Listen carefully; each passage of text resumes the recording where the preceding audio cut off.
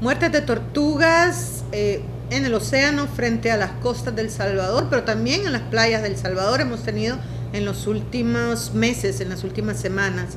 El 31 de octubre vimos el primer avistamiento de casi 400 tortugas muertas a más o menos 17 millas náuticas de la costa salvadoreña. Estas tortugas que no necesariamente provienen de la costa del Salvador o que anidan en suelo salvadoreño, pero que pueden anidar en otras playas, en otras costas, en otros países de la región y que muy probablemente eh, esté relacionado a que estas tortugas comieron eh, organismos que están en el océano, como las medusas, que se alimentan de zooplancton y que generalmente si hay marea roja en el océano tienen toxinas que las matan. A eso se debe esta muerte masiva de las tortugas, pero también hemos encontrado en las semanas siguientes muertes de tortugas en toda la costa del Salvador, pero sobre todo en La Libertad y en el Sonte, en otras playas cercanas. Hemos encontrado también eh, estas tortugas muertas. Hemos hecho los análisis respectivos, necropsias, hemos tomado 12 muestras de eh, los tejidos de estas tortugas para que sean analizados. Acá en El Salvador es posible hacer alguno de estos análisis que ya estamos realizando en el laboratorio de FUSADES.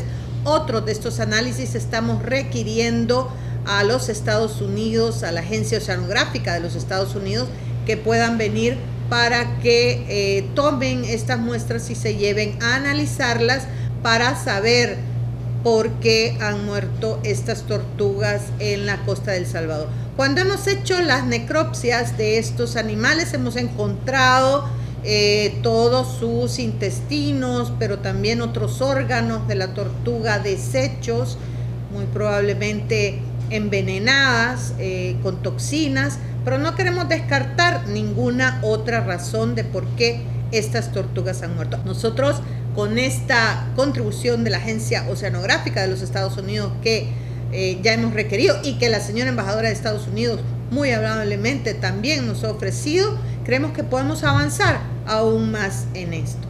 Es importante advertir que estos eventos de muertes masivas de tortugas marinas son eventos que suceden a finales de año y han sucedido ya en otros años. Lo tuvimos el 2013, lo tuvimos el 2006.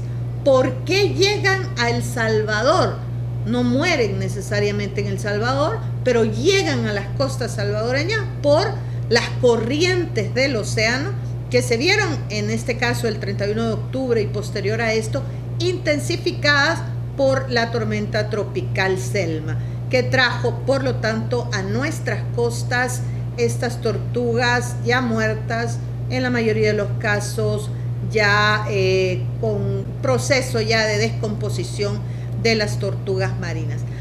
Nosotros ya tenemos el protocolo establecido de qué hacer en el caso de que las tortugas lleguen vivas a las costas salvadoreñas. Lo hicimos en el caso de cuatro tortugas que encontramos vivas que llegaron a la costa, tres de estas pudimos salvarlas y regresarlas nuevamente al océano.